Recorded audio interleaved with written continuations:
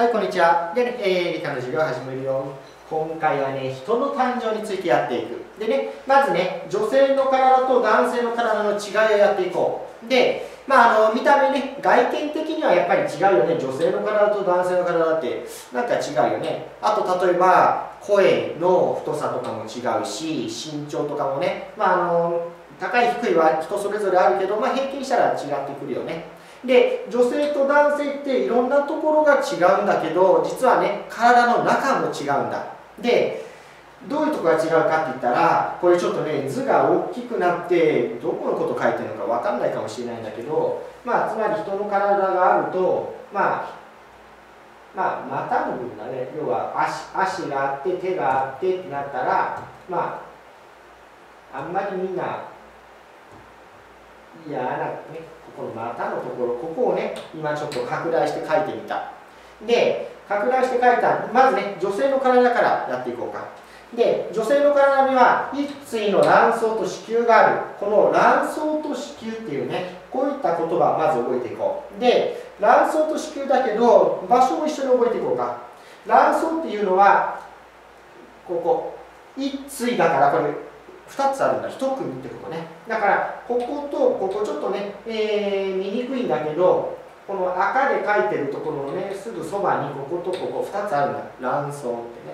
それと子宮。子宮は1つしかない。子宮はここね。真ん中にあるところ。これが子宮。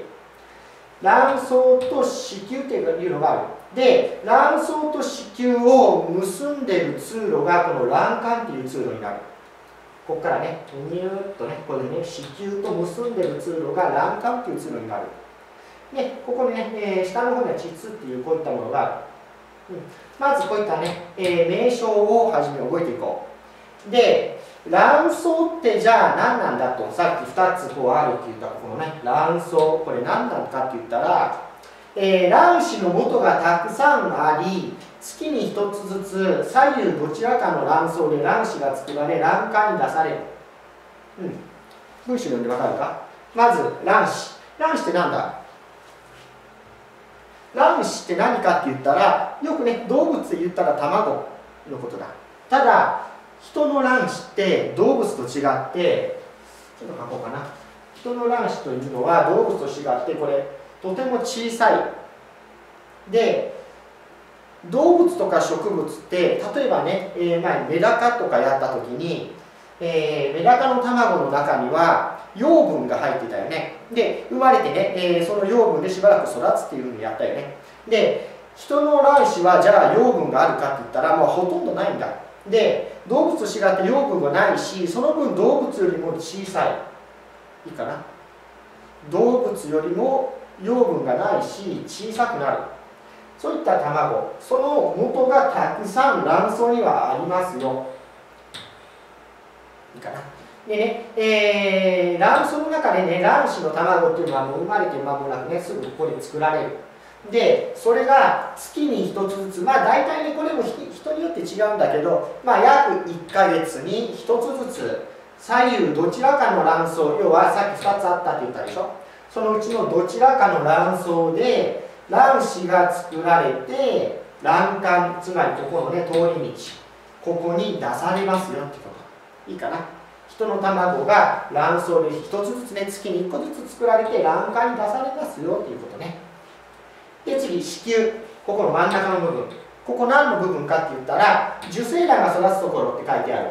受精卵って何だってことだ。これまたね後にも出てくるけどえー、動物でもね植物でも何でも一緒。受精って分かるよね。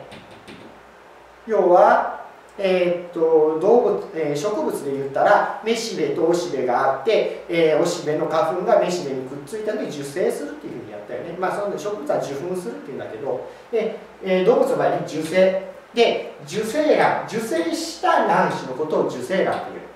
受精卵が育つところが子宮ここの真ん中の部分になりますよいいかな。名称と役割ねまず覚えていこう。じゃあ次ね同じ場所の男性の体。男性の体は一対の清掃がある。さっき女性は卵巣って書いたけど男性は清掃がある。一対ね一組の清掃がある、えー、どこかちょっとね前から見た図よりも横から見た図の方がこっちはね分かりやすいし横から見た図で説明していこう。えー、っと清掃ってどこかって言ったらここだ。ここね。丸いものこれが清掃。1だからまあ普通2つある。で、えー、他にねここの管のこと。これ女性では卵管って言ったけど男性は性管。まあ覚えやすいよね。であとここね性能ってあるんだ。で性能って何かって言ったら、えー、まず清掃からしようか。清掃っていうのは精子が作られる場所を清掃っていう。だから卵巣は卵子が作られる場所。清掃は精子が作られる場所。わかるよね？でその清掃がこの性管を通って同じようにね運ばれるんだ。ね、卵子と同じように運ばれるんだ。で性能っていうところにここにね蓄えられる。いいかな？清掃で精子が作られてそれがね、えー、運ばれて性能という場所で蓄えられる、うん、こういうふうになっている。ここまでいいかな？じゃあ次のページいこうか。では、えー、次のページではさっき言った精子と卵子が出会うところをやっていく、えー、まずね精子は子宮から子宮ってどこか覚えてる？この図で見ていこうか。子宮っていうのはこの場所だ。この場所ね。精子は子宮から卵管へ移動しだからここからこういうふうに移動するんだ。いいかな子宮から卵管へ移動し卵管の奥で卵子と出会い卵管の奥ねこの辺で、えー、この辺でね卵子と出会います。出会いがここでありました。で受精しますよ。いいかな、えー、ここを通って奥で卵子と出会って受精しますよ。で精子の長さやっていこうか。精子の長さは約 0.06mm 一度に送り込まれる精子の数は約3億個である。一方卵子は直径約 0.14mm、えー、受精すると膜ができるということになっている。精子と卵子と全然違うんだよね。精子は 0.06mm 卵子は 0.14mm ちなみに 0.06mm っていうのは、えー、これねちっちゃく書いてるんだけど要はねちょっと拡大すると精子がまあこういうふうにね、まあ、おたまじゃくしみたいなねこんな感じ精子がある。精子のこの長さここからここまでが 0.06mm なの。だから尾っぽも含めた全部の長さが 0.06mm で一方卵子というのはこういう丸い形してるからこれの直径。これの直径が、えー、約 0.14mm になって。いるだからね大きさ的には全然違う。でまあよく言われるのがね、えー、人のね細胞の中に一番ちっちゃい精子と一番大きな卵子ね。一番ちっちゃいと一番大きいの。これが出会うってことね、うん、でさっき書いつなっと書いたんだけどね、えー、受精すると膜ができるって書いてるよね。これ受精卵さっき出てきたよね。受精した卵のことを受精卵って言うんだ。で受精すると周りに膜ができるんだ。こう膜がね。ふわふわふわふわと膜ができるんだよね。何のために膜ができるかって言ったらえー、約3億個の精子が送り込まれるんだけどそのうち受精する精子はたった1つだけなんだ。3億個の中にたった1つの精子だけが受精できるんだ。で受精すると膜ができて他の精子を入れなくなる。要は壁みたいになって入れなくなる。そのために膜ができるんだ。いいかな？で受精して受精卵になるとその後ねどんどん育っていく、えー、受精卵は約1週間後に子宮に達し移動するんだね。どういうふうに移動するかって言ったら今奥で出会ったよね。これが逆にこっちに戻っていってでここの子宮に戻ります。で子宮に達し子宮の壁に付着して成長する。このことをこれ着床って言います。着床覚えておいてね、えー、子宮の中で成長する子を胎児という赤ちゃんのことね。赤ちゃんの要は体の中にいる時ね。胎児というふうに言います。いいかな、うん、ではね次行こうか。ではね次ね。胎児は胎盤とへその緒を通して胎盤とへその緒また新しいことが出てきたね。胎盤というのは今ここねお腹の中拡大してある。でここに赤ちゃんいるよね。赤ちゃんからこうへそおへそね。赤ちゃんのへそからこういうふうに出てる。これをまずへその緒と言います。へその緒って聞いたことあるよね。おへそから出てるこういうねやつへその。緒でそのへその緒が母親とこうくっついてるんだけどそのどこにくっついてるかって言ったら胎盤っていう場所にくっついてる。胎盤胎盤とへその緒を通して母親から必要なものを取り入れ不要なものを母親に送り出している。必要なもの不要なものって何だってこと。下にちょっと書いてあるから読もうか、えー、胎盤の説明。ここね。胎盤胎盤ってねへその緒がこう突き刺さってるんだここね。なんかね木の枝みたいに突き刺さってるんだ。でその胎盤なんだけど胎児の血管が食い込みここに母親の血液が吹きつけられるように流れ胎児は養分や酸素を取り入れ二酸化炭素などの不要物を母親に送り出す。だからさっき必要なもの不要なものって何だって言ったけど必要なものっていうのは養分や酸素。で不要なものっていうのは二酸化炭素などだからこの胎児というのは自分でね呼吸もしないし何か食べ物を食べたりもしない。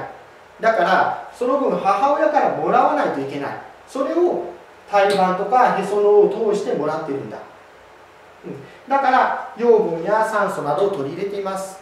逆に出すこともできないからそれも母親に送って二酸化炭素など不要物を出してる。これが胎盤とかへその緒の大切な役割になる。いいかな。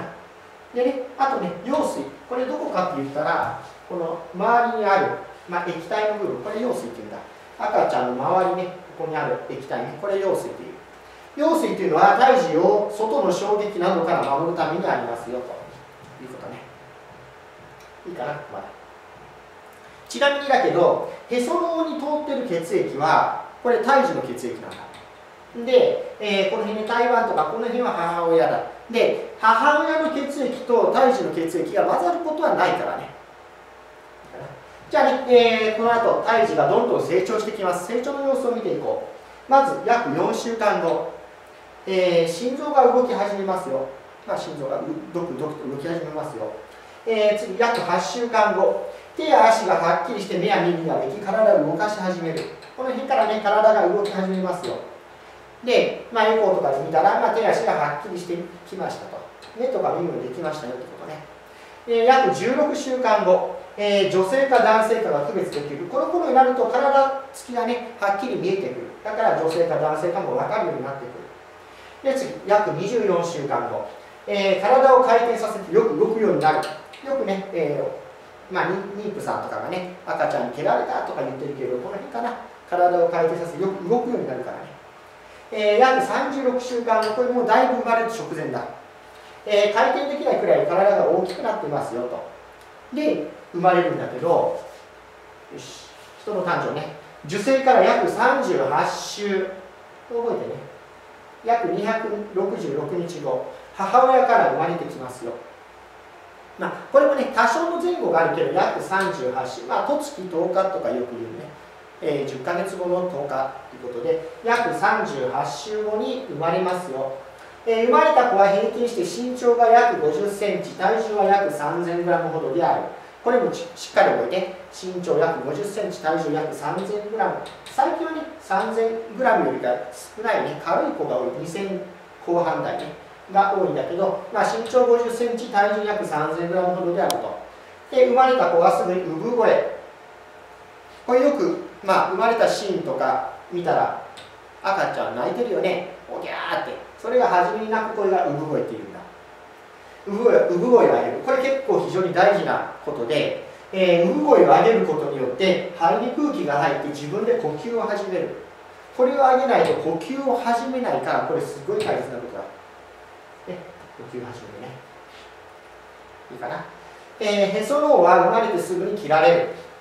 これね生まれた時にまあ、えー、産婦人科とかねへその緒をまず切ら切ってここに残ったへその緒の一部はこれはね数日経つ自然に取れますよということね、えー、胎盤は母親の体内から出てくる、うん、というふうな感じになる。ちなみにこのへその緒のね最後に、えー、残った後ね一番最後へその緒の残った後っていうのがこれがねみんながあるおへそになってくるんだ。いいかな。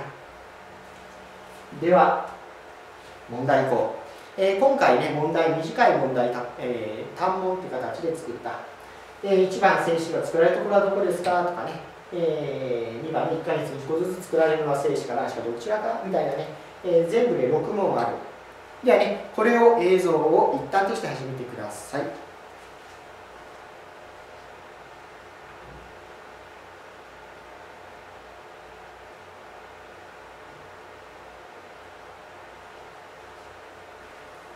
はいいいかな。じゃあ1番から。まず精子が作られるところはどこですか？何て言ったんだっけ？精？清掃ね。かな？初めにやったよね。精子が作られるところが精巣で卵子が作られるところが卵巣ね。えー、っとここね。精子が作られるのは精巣ね。で卵子が作られるのが卵巣ね。では次の問題。えー、体内で1ヶ月に1個ずつ作られるのは精子ですか卵子ですか？1ヶ月に1個ずつ作るのはこれ女性の方だ。だから、えー、卵子ね。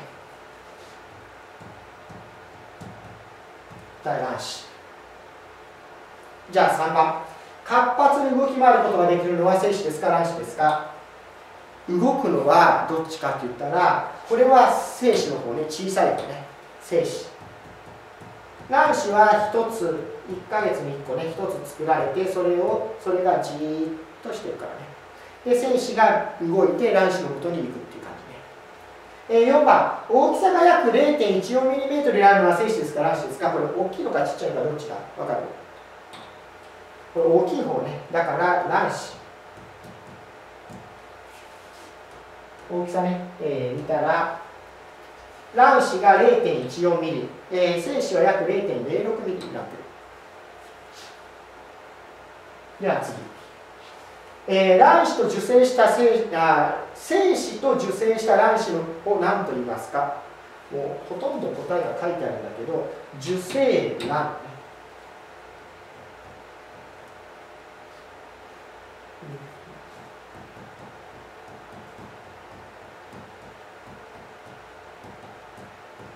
そのままね受精した卵子だから受精卵。じゃあ、えー、6番。受精した卵子はどこの中で成長しますか？受精したらどこに行くんだったっけ？覚えてる？受精のところはここかな。えー、っとどこだ？ここかな。受精卵は約1週間後に子宮に行くんだよね。こう行って子宮に行くんだよね。で子宮で付着して成長するっていうことだから答えは子宮、ね、子宮ねいいかなかなじゃあね、えー、次の問題いこうか。はい、ではね、次、問題の2番。えー、今度は4問、3番、4番は記号で答える問題。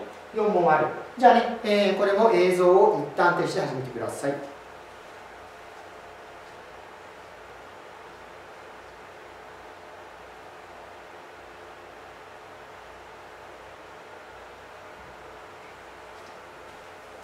い、いいかな。では1番、えー、胎児を衝撃などから守る液を何と言いますか？何て液が入ってるんだったっけ？羊の水って書いて、用水ね。用水が入ってる。胎児の、えー、周りに、周りに、これちょっと茶色っぽくなってるね。周りにある水を用水っていうからね。液体ね。用水っていうからね。では次。2番。母親と子をつなぎ母親から必要なものを取り入れ不要なものを母親へ送り出す部分を何と言いますか2つ答えなさい。母親と子をつないでる部分2つあるよね。何だったっけ？胎盤ともう一つがへそのいいかな？これも見ようか。えーと、ここね胎児は胎盤とへその緒を通して母親から必要なものを取り入れ不要なものを母親に送り出しているという。胎盤とへその緒ね。いいかな。では次の問題。えー、人の子は普通受精してから約何週くらい生まれてきますか？これも覚えてね。何週だったかな？答えはこれね。38週約38週で生まれてきますよ。266日ぐらいね。じゃあ4番。生まれたばかりの人の子の大きさは普通どれくらいですか？身長と体重だけどいくつだったっけ？身長が約50センチね。